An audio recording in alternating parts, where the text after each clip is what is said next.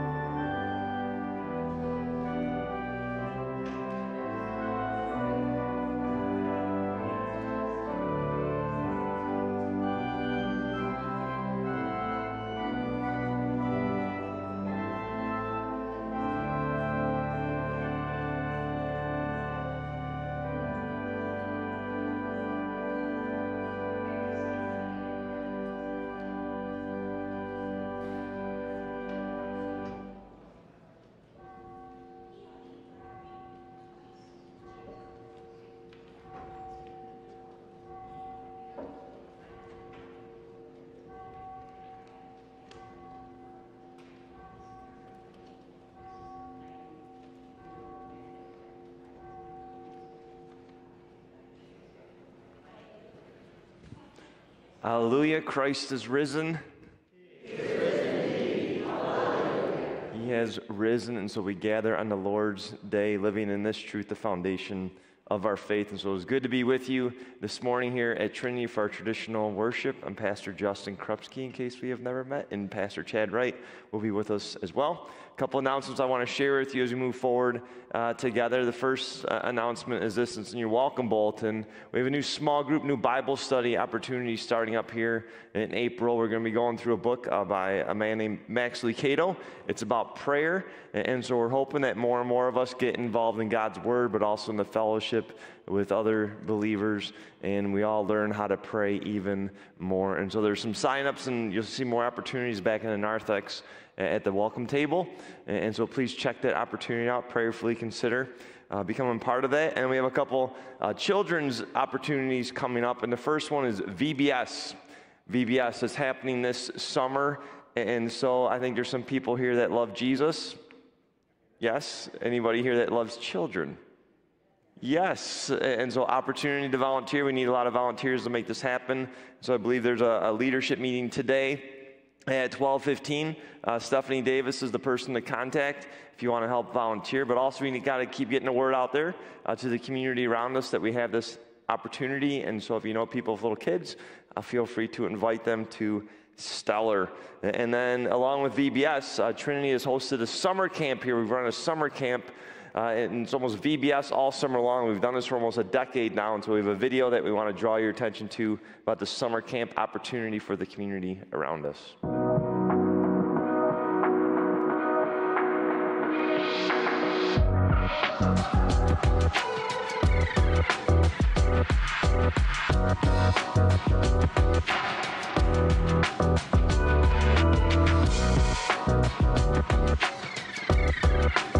We'll be right back.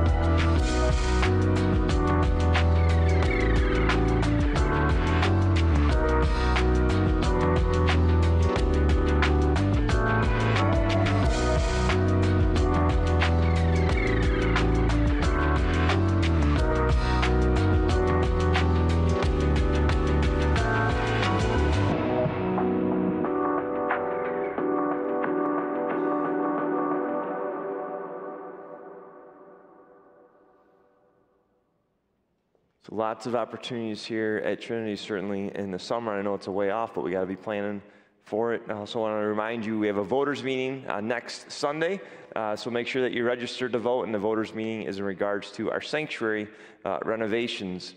And then, as well as that, Pastor Christian Jones, want to let you know, he's going to be installed next weekend at our Saturday service. And so we're excited for Pastor Christian Jones' ministry as it begins here at Trinity.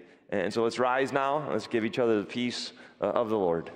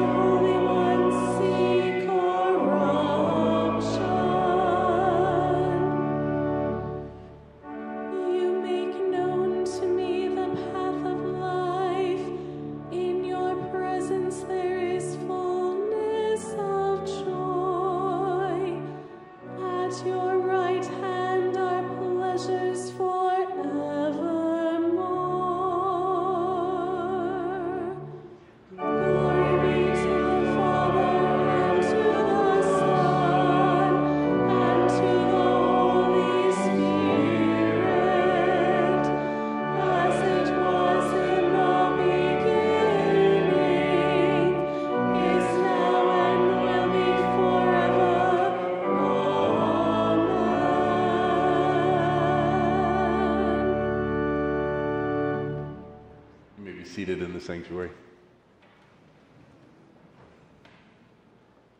Our Old Testament reading is taken from the book of Exodus, chapter 20, starting at verse 8. Remember the Sabbath day to keep it holy. Six days you shall labor and do all your work, but the seventh day is a Sabbath to the Lord your God. On it you shall not do any work, you or your son or your daughter, your male servant or your female servant, or your livestock, or the sojourner who is within your gates. For in six days the Lord made heaven and earth, the sea, and all that is in them, and rested on the seventh day. Therefore the Lord blessed the Sabbath day and made it holy. This is the word of the Lord. Our second reading is taken from Paul's first letter to the Corinthians, chapter 15, starting at verse 1.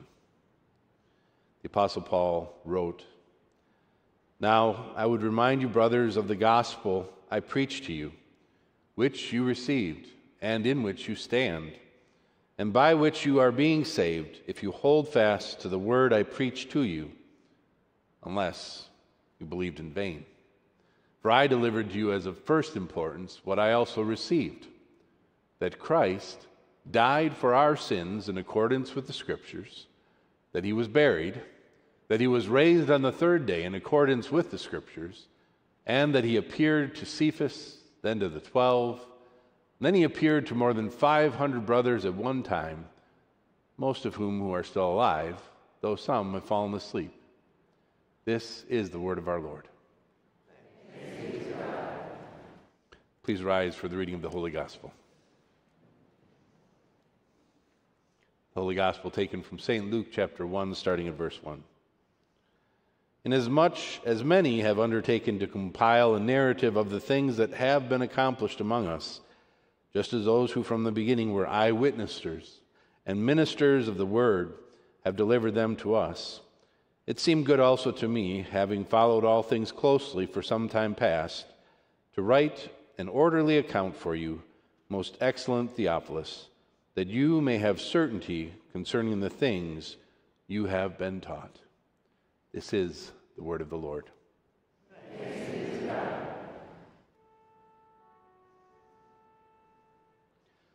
Sing to the Lord and bless his name. Proclaim his salvation from day to day.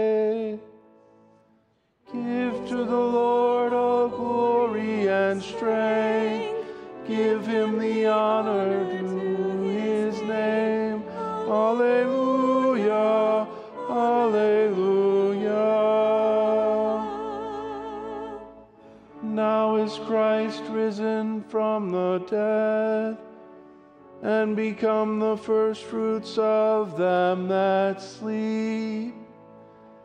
Give to the Lord all glory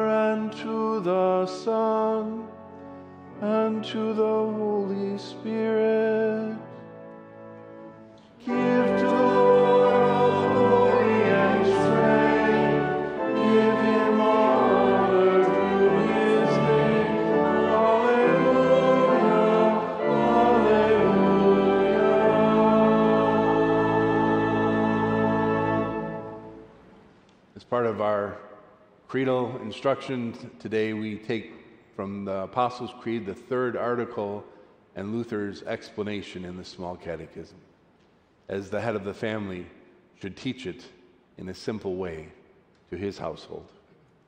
What is the third article of the Apostles' Creed? I believe in the Holy Spirit, the holy Christian church, the communion of saints, the forgiveness of sins, the resurrection of the body, and the life everlasting. Amen. What does this mean? I believe that I cannot, by my own reason or strength, believe in Jesus Christ my Lord, or come to him.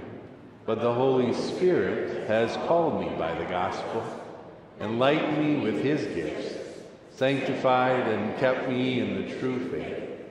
In the same way, he calls, gathers, enlightens, and sanctifies the whole Christian church on earth and keeps it with Jesus Christ in the one true faith. In this Christian church, he daily and richly forgives all my sins and the sins of all believers. On the last day, he will raise me and all the dead and give eternal life to me and all believers in Christ. This is most certainly true. You may be seated.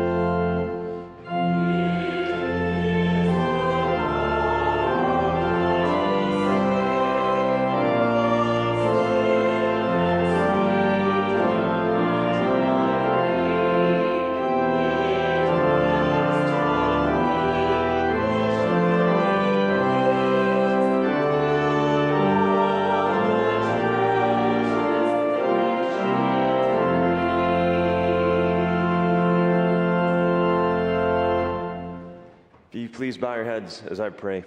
Uh, gracious God, we thank you for the gospel, the peace, the life, the freedom, the assurance, Lord, that you have given to us in it. Lord, in this moment, may the words of my mouth and the meditation of all of our hearts, may they be pleasing to you, for you are our rock, you are our Redeemer, you are our salvation. In Jesus' name we pray. Amen. First Peter 3, verse 15, Peter said this to the first disciple Always be prepared in your hearts. In your hearts, honor Christ the Lord as holy, always being prepared to make a defense to anyone who asks you for a reason for the hope that is in you, yet do it with gentleness and respect. Always be prepared. There's a world out there that has questions. And so it's our hope as a pastoral staff as we continue this sermon series called Great Big God Questions that you will be prepared to share your faith, to defend your faith. And not just that, but that you and I will be strengthened in our resolve, in our faith, in our trust in God. And so today, as we continue Great Big God Questions together, the question at hand is this Is the Bible trustworthy? The Bible itself trustworthy. But before we get into the Bible itself, we need to go at the heart of our faith. So the question is Is the gospel of Jesus trustworthy? The gospel of Jesus, the message, the work of Jesus, is it trustworthy? Right? The headlines of our, our faith, the good news of our faith. Paul said it, I want to read it again from 1 Corinthians, because this is what was at stake in the first century for the first disciples. Right? The gospel, is it trustworthy or not? And so Paul says, Now I remind you, brothers, of the gospel. Of the gospel. The question is, well, what is the gospel? The gospel I preached to you, which you received, in which you stand, and by which you are being saved if you hold fast to the word I preached to you, to this gospel, unless you believed it in vain. For I delivered to you as of first importance what I also received. Here's the gospel that Christ died for our sins in accordance with the scriptures. And when Paul says scriptures, he's talking about the 39 books of the Old Testament, all the prophecies that spoke about the Messiah coming to make us right with God Almighty. He died for your sins also that he was buried and that he was raised on the third day in accordance with the scriptures, all the prophecies that said he wouldn't just die for your sins, but that he'd overcome death in the grave. And as he overcame death, as Easter happened, he appeared to Cephas, that's Peter, and to the other disciples. There's eyewitnesses of the headlines of uh, our faith, and not just to the other disciples, but Paul says this in verse 6 he also uh, appeared to more than 500, 500 eyewitnesses at one time, most of whom are still alive to bear witness, to bear testimony that yes, Jesus was crucified, but that he rose again from the dead. Those also who have fallen asleep. Right? The gospel.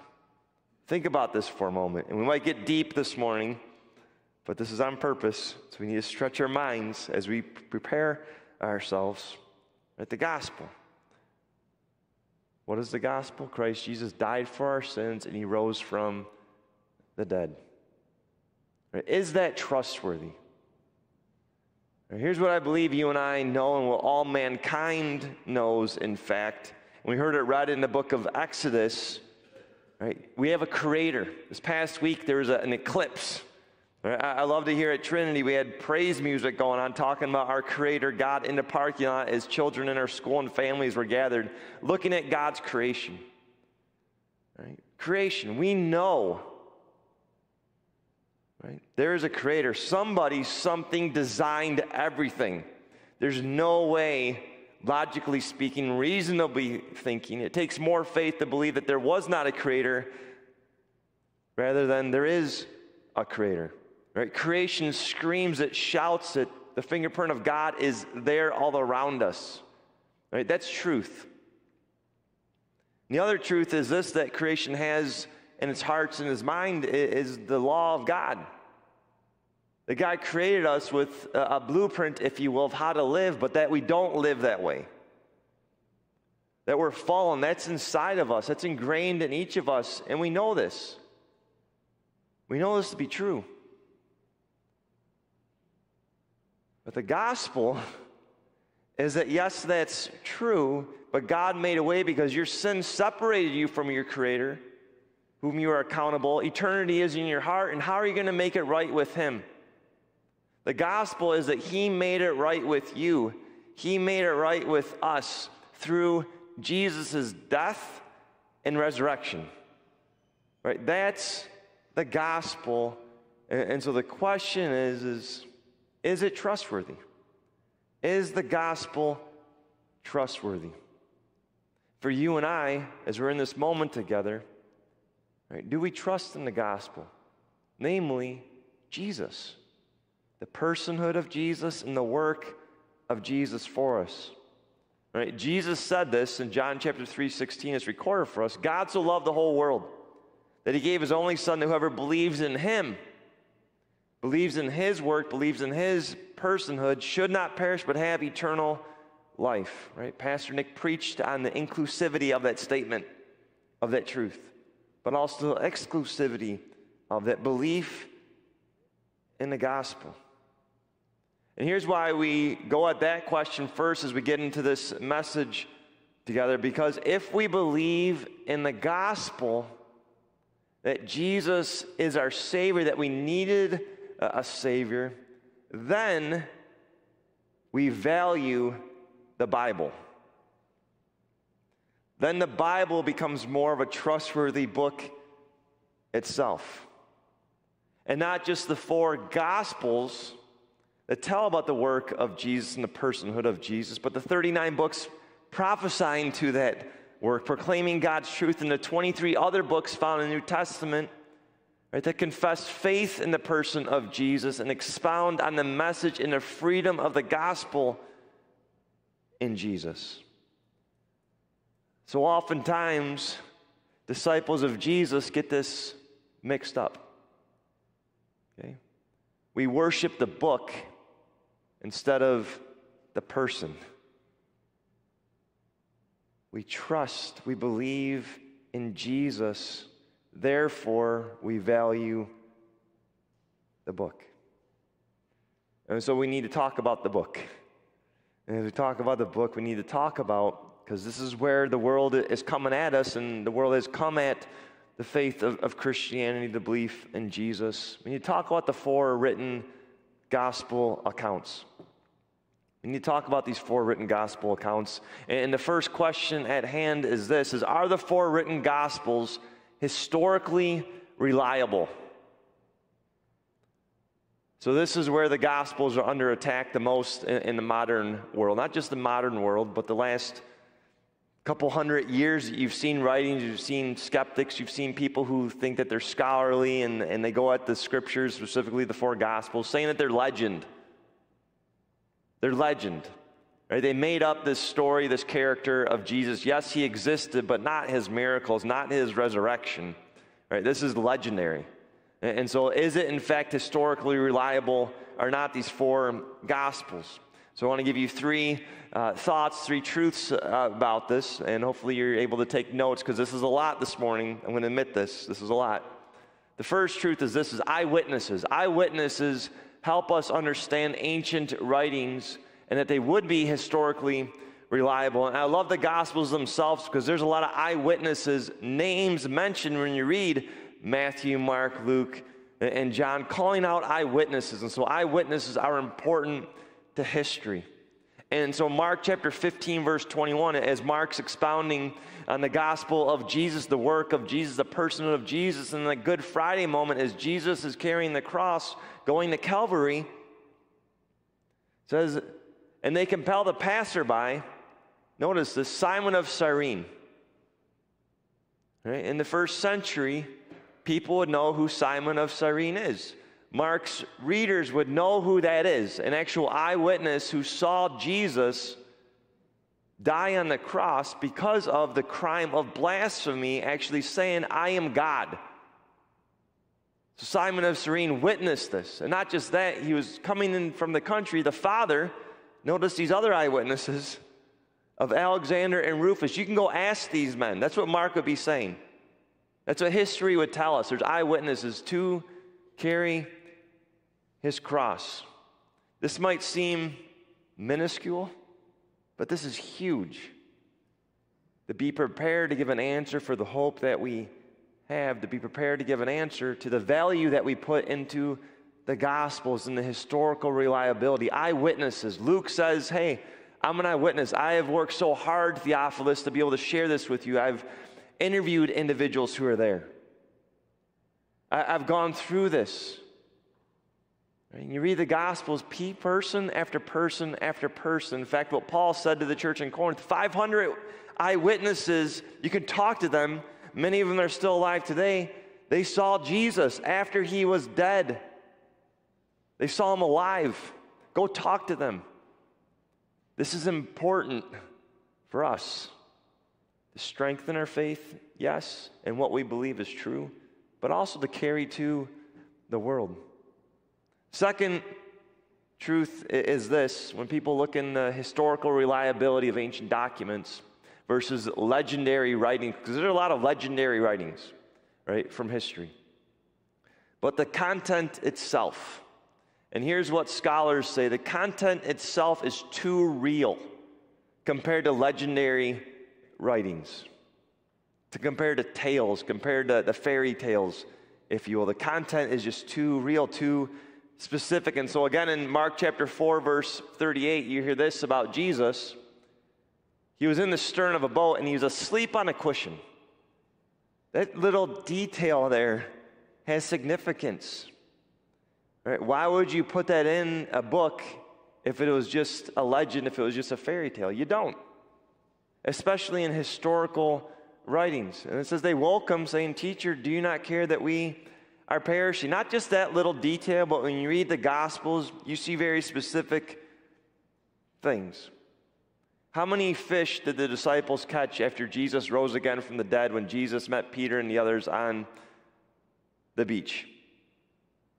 153. That's a very little specific detail that is telling us almost 2,000 years later we can trust this. The emotions portrayed by Jesus and the disciples themselves and those others mentioned in the Gospels confusion, doubt, anger, frustration. That's real content.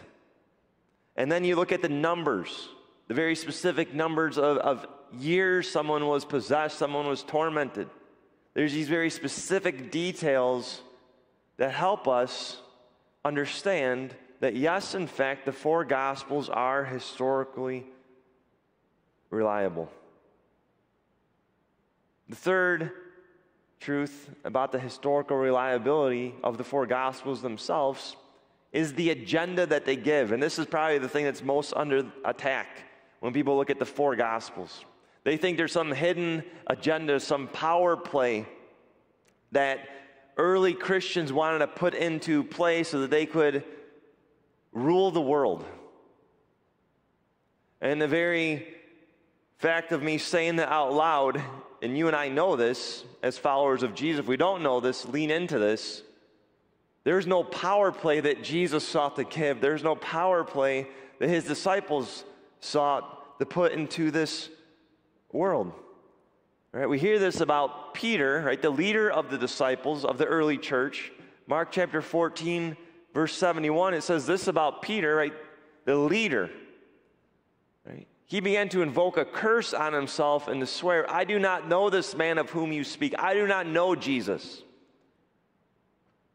What does it do if, if Peter and the other disciples are trying to bring power into this world by portraying themselves as ones who would betray a hero? Not good for character development or to make a case statement of why I should lead the world. Right? And it's contrary to the world in which they, they lived in, where Rome was all about power showing people imperfection, and Greece also was. And even in the Jewish faith, right, it was all about power, but Jesus came with an agenda, and what was that agenda? Put other people above yourself, right? Sacrifice, submit, honor. Right? There's a clear agenda that Jesus brought, and it was not what skeptics and what quote unquote scholars say that Christianity brought into this world, it doesn't fit. Right? The agenda was the gospel. I'm forgiving you because you're such a mess. I'm making it right. right? Where's the power in that? So, the historical reliability of the four gospels we need to be prepared. And our faith, I pray, is strengthened. Not just historical reliability, but the other thing that is under attack when it comes to the four gospels is scholar after scholar, college professor after college professor around the whole world continue to attack the gospels with this question Are the four written gospels culturally regressive? Regressive. So stick with me here. There are many people who believe that Christianity subjugates women, right, that devalues women. And so, in the four Gospels themselves, are women devalued? Or are they raised up with value in their worth? Right? Jesus. And, we could go text after text after text to see that that statement that's out there is not true. Right? Luke chapter 13. Here's what we have. It says Jesus was teaching in one of the synagogues on the Sabbath. And behold, there was a woman who had a disabling spirit for 18 years. Notice that specific truth. She was bent over and could not fully straighten herself. When Jesus saw her, he called her over and said to her, Woman, you are freed from your disability, compassion, value, worth. And I love this because Jesus didn't touch her as a sign of power or in an appropriate way of touching from a man to a woman, but he laid his hand on her and he healed her. He healed her. And I hope you know this. This is why we gather for Sabbath, for sacred assembly, because Jesus heals. Jesus was there on Sabbath, and he's here uh, on Sabbath in the sacred assembly to bring his truth, his freeing truth to us. And immediately she was made straight, and she glorified God. Right? In the Gospels, women are clearly not property. There is clear value, there is clear worth. Why do the gospel writers, right, let us know the truth of the people that were eyewitnesses of the cross? Where were the men? Where were the disciples at the cross? They were gone. Where were the women? They were there. Who was at the empty tomb first? The woman, carrying the message of the gospel first. Right? Over and over again. You see the value, you see the worth of women. And certainly not just there, but I would argue in the rest of the 62 other books in the Bible, you see that. And I think for me as a husband, and I dig into the Gospels and I dig into the early writings uh, of the church that gives strength and faith in the message of Jesus. But I know as a husband, my wife, Jenny, is more important than me. I'm called to actually sacrifice for her like Jesus sacrificed for us. That's what I'm called to do. But yet, that's out there. The second thing that gets brought up in academia and all around the world, and maybe you've heard this, is, is Christianity, right, brought modern day slavery as you and I know it. Is that true? Mark chapter 12, verse 31, Jesus said this, right? You shall love your neighbor as yourself. And Jesus told us, who is your neighbor? Everybody, every culture, every race. You see it through his, his teachings. You're not allowed to devalue your neighbor. This is the commandment. Right? Deuteronomy 24 says this If a man is found stealing one of his brothers of the people of Israel, and he treats him as a slave or sells him, then the thief shall die. You shall purge the evil from your midst. That is a loaded statement, and I realize that. And what's sad to say is there are people who have used the scriptures to do horrific things. That's true. But those people didn't read the scriptures, didn't dig deep into the scriptures to fully understand. And when the scriptures speak about slavery, it is a different concept than when you and I know what you and I read in the history books of modern history. That was not the four gospels, that was not Jesus, that was not the truth of God. And so I wish people would have read the Bible fully and understood its context. And I still pray for that in this world, that we would dig deeper. If there's something that's confusing or misleading from the clear teachings of our faith, dig deeper. Dig deeper. Always dig deeper. So, Pastor Chad and I were talking before, and I told him I could preach three hours on this. I could do a four hour seminar. Right? And hope what we just talked about prepares you. I hope it equips you. But here's what I've learned to be true in my own life and witnessing to the world and going at mindful questions like this. The question really is not, is the Bible trustworthy? The question is that individuals after individuals come back to in conversations that I've had, but we need to be able to talk about the Bible. The question is, is God trustworthy? Is God trustworthy? Atheists, scientists who push evolutionary theory and try to wipe away a creator, right? those who go at the Gospels, time and time again in the conversations I have with them, ultimately what it comes down to is Justin, explain to me why my mom died when I was seven years old. Justin, explain to me why my dad abused me. Where was God in that? If you believe in a God, how can that happen? Right? And so the question is is God trustworthy? We need to be able to, to go to that, and we will go to that in this sermon series with you all. But Jesus said this for us when it comes to the problem of evil and the problem of suffering. And I hope we know this. This book addresses evil and understanding where God is. And certainly the gospel even does that as well. But Jesus said in John 16, verse 33, right, I've told you all these things that in me you may have peace. Right? In the world you will have trouble. And I don't picture Jesus just saying it as I said it. Jesus was compassionately, empathetically, sympathetically in that moment. And I have no doubt in my mind, Jesus had tears in his eyes when he said that. In this world, you are going to have trouble. I didn't create this, but I loved you so much right? Free will, and I have a plan bigger than you'll ever understand. My heart is there with you. My heart breaks with you. But I'm making this right. And if you can have courage to hang on through it, you'll see that I am good. You'll see that that wasn't me. It isn't me. I am good and I am with you through this, right? Take heart. I have overcome the world.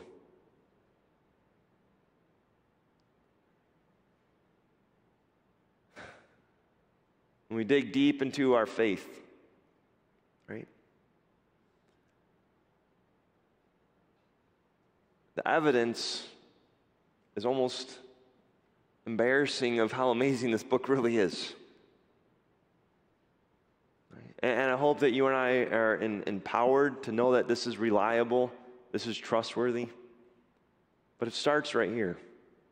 It always starts right here. This is a good book. This is a great book. This is God's word for us.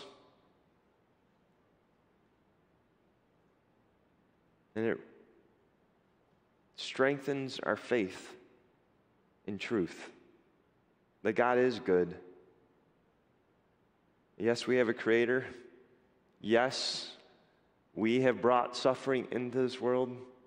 But yes, yes, and yes, He has made a way for us. There is good news for us in what he did for us in Jesus. And so, hallelujah, Christ is risen. Hallelujah. Let's sing the gospel shows the Father's grace.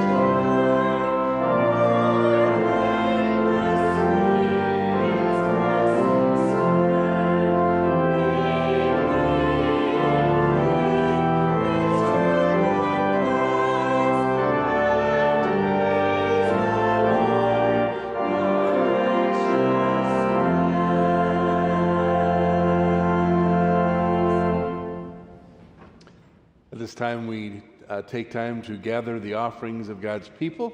Uh, if you're joining us online and you want to participate, you can uh, give by using the Church Center app or texting the word Trinity to 586 731 4490. You can also make prayer requests through that uh, text or through the Church Center app. Uh, in the sanctuary, if you have any prayer requests, you can write them out on the We Care cards that are in the pew in front of you and make sure those get passed along to the ushers as they collect the offering. Uh, during the offering, we'll take time also to hear the children's message from our own Stephanie Davis, our children's ministry director.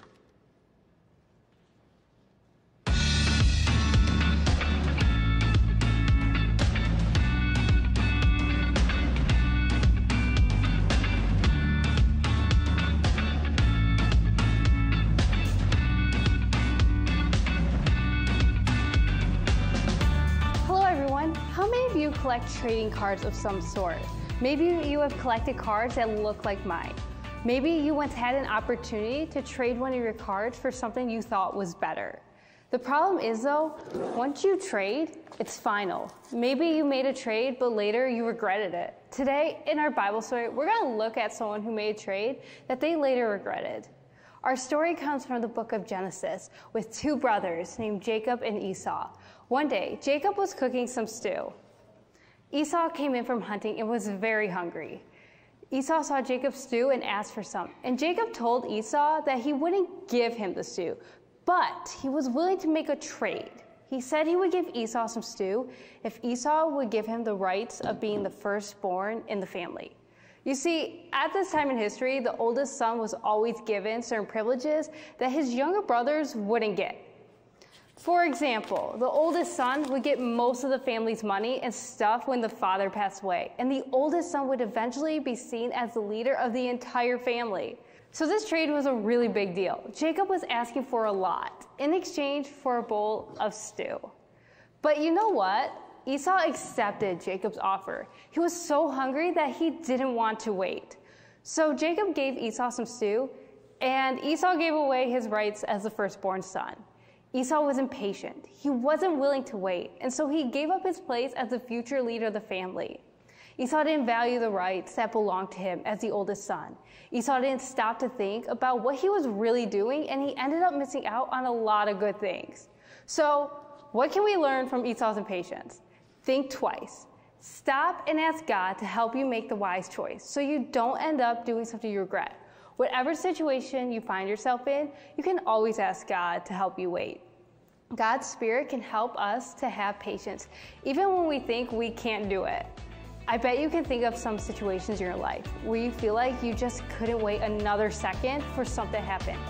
What can you do when you feel like you can't wait? You can stop and think twice. You can pray and ask God to help you.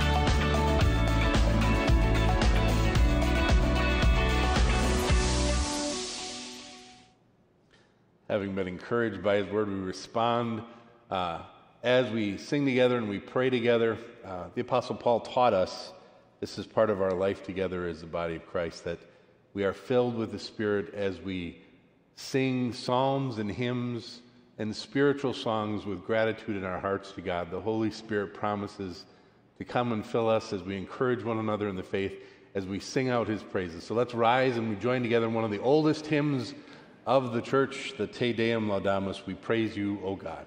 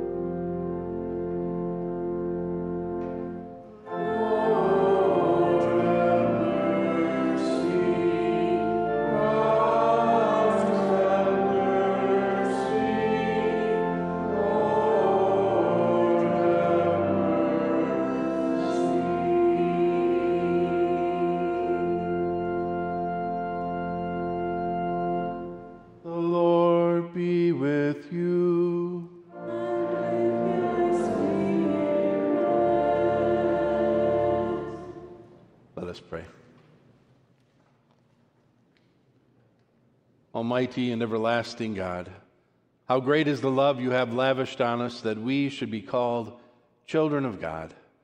And that is what we are. Through the life, death, and resurrection of your Son, Jesus Christ, you have called, gathered, and enlightened your people down through the ages from every tribe and nation and language and people. And so we respond continually and joyfully praising you all our days until finally we join you in eternal glory with all the saints and, and all the angels. We pray, Lord, that you would keep us steadfast in this true faith. Help us to share this faith with others, and as we have opportunity, to speak the truth to others in love. Lord, in your mercy, hear our prayer. O gracious Father, we give you thanks for all the many blessings you shower upon us in this life, for the gift of your word and sacraments. And today, especially, we re- rejoice that you are adding to your, the numbers of your saints the, the names we place before you and trust in your care. For Alexander, Connor, Evelyn, and Noah. Father, as you bring them into your family through the adoption by your Holy Spirit through water and word, so bless their parents that they might continually grow up in your word and understanding how much you love them and your plans for them. And we pray, Lord, that your congregation, the church here at Trinity, would continue to support the ministry of equipping and encouraging parents to be the first disciplers of these children. Lord, in your mercy. Gracious Father, we thank you for the gift of life and for the blessings of family and friends. We especially thank you for those who are celebrating birthdays this week, and especially name before you Cheryl, Mark, Atur, Catherine. As they celebrate birthdays, Lord, help them to remember what you have done for them and help them to trust you for the days ahead. Even as we celebrate life, Lord, we pray for those who are struggling with issues of life, for mothers with unborn babies, that you would help them recognize that gift of life. For individuals who are facing the end of their life and making decisions about how to proceed with that, we pray for your continued guidance. Uh, Lord, we know you are the one who gives life and decides when it ends. And so we pray that you would help us to live that out in our life and our confession of faith. Lord, in your mercy, hear our prayer. Lord, we thank you for the gift of marriage. You have shown us in Scripture the beautiful example of Christ, the bridegroom, loving his bride, the church. Help husbands to love their wives as Christ loved the church by laying down his life for, for her. Help wives respond in joyful submission, placing their will under the will of their husband, just as the church does for Christ. We celebrate with those who are celebrating wedding anniversaries this week. Pray for John and Melissa Zolke as they celebrate their 25th anniversary, and Alan and Phyllis Hamilton as they celebrate their 68th anniversary. Lord, continue to be the center of their marriage. Help all husbands and wives to, to trust in you and live out this beautiful gift of, of marriage in their lives, honoring you. Lord, in your mercy. Gracious Father, you came into this, you gave your Son to come into this world so that we might know you, and by knowing you, have eternal life. Through revealing yourself to us in your Son, you have given us the assurance that we are your children, even as we face trials and troubles in this life. We pray, Lord, that you would be with those who are hurting, those who are facing surgeries, those who are hospitalized, that you would bring about healing Help them to trust in you in this time of trouble, knowing that you are for them. We pray especially uh, those we name before you for John Banasek, Drew, Drew Fergan, Bob Keatson, John Gohl, Lori Grassley, Sharon Hisner, Dale Costolt, Michelle Keel, Randy Levinsky, Mary Jo, Bob McErney, Diana Marcino, Vince Monaro, Shirley Mundeline, Octavia, Jennifer Rules, Sophie, Michelle Sitkowitz, Gigi Williams. We pray also, Lord, for those on our short term and long term prayer lists. On their behalf, Lord, hear our prayers. Lord, in your mercy, hear our prayers. We pray, Lord, for those facing the end of life, especially for Cindy, who now is in hospice care. Uh, we pray for the family of Nancy Langtot as they mourn her passing. Lord, help them to move forward in their grief, also experiencing the hope of eternal life, that they will see her again. For as you brought her into the faith, you have made a promise that all who believe in you shall not die, but have eternal life. And so they will see her again on the day of the resurrection of all people. We pray, Lord, also for those facing uh, physical and, and financial struggles. Lord, we pray especially that you be with the Cluluzzi family as they have experienced a house fire. As we have opportunity, Lord, help us to be there for them, to support them, uh, to, to care for them in this time. Lord, we pray for Christian Fritchie and her family as she discerns a call to serve here at Trinity as our second grade teacher. We pray, Lord, for all of our ministries here at Trinity. We thank you for the, the many blessings you, you shower upon us uh, as individuals and family and friends. Help us to continue to work together in the unity of your Spirit and the bonds of peace. Uh, help us to share the gospel as you equip us to go out into our community and into our world and share Christ's story with love.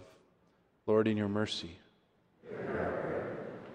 Father, we pray for our government, for our president, for our Congress people, for all those who serve here in our state, our governor and Congress people of our state, for all local officials.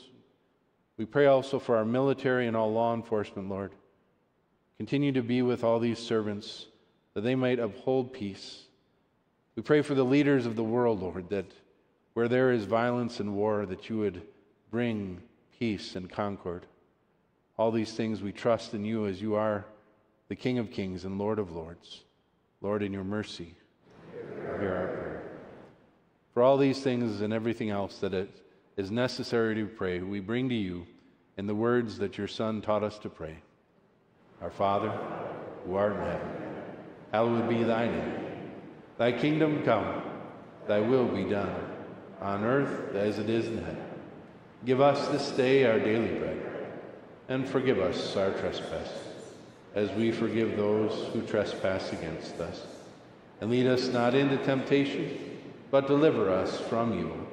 For thine is the kingdom, and the power, and the glory, forever and ever. Amen.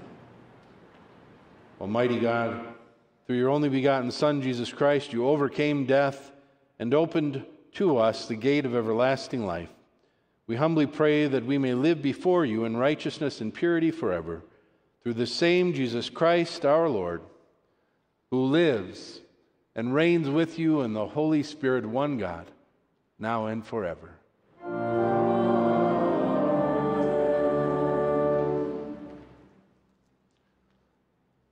Let us bless the Lord. Thanks be to God.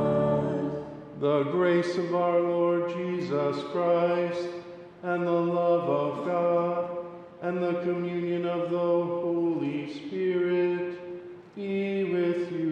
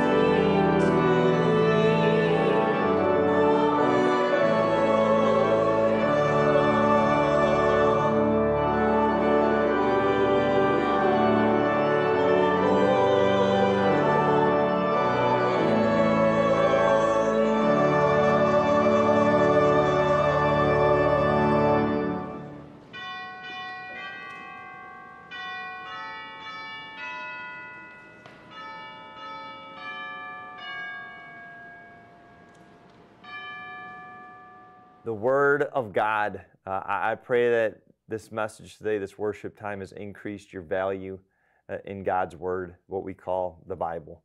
Right? The beautiful book that God has put together for us to sustain us, to strengthen us, to encourage us, and certainly even to call us out when we need to be called out. And, and so get into the Word this week. And as we move forward together this week, I want to encourage you to do something that we call Faith Five. Take five minutes today, uh, maybe later on this week with those in your life. Talk about life. Talk about highs, talk about lows, talk about your relationship with God and the message that you heard today, and then pray with each other and then give each other some encouragement this week. We hope you're able to worship with us again next week. Don't forget, be an evangelist and, and take this link, share it on your social media thread, share an email, share it through text message. Get out there and share Christ's story with love.